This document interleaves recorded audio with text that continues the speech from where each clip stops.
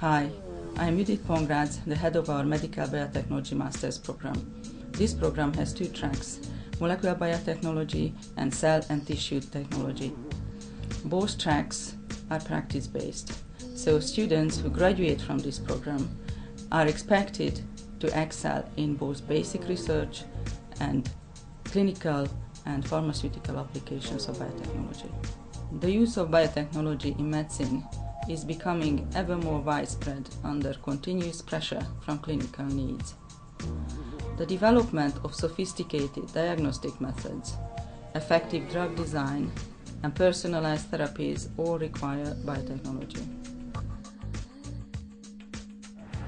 The Medical Biotechnology Master's Program is particularly attractive for me because it's delivered by leading local lecturers and expert lecturers from other countries, including the UK and the United States.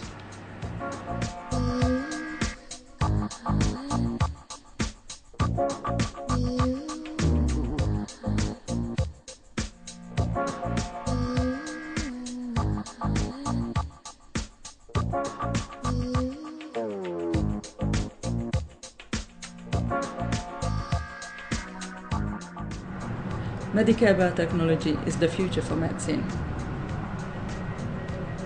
And the career for you?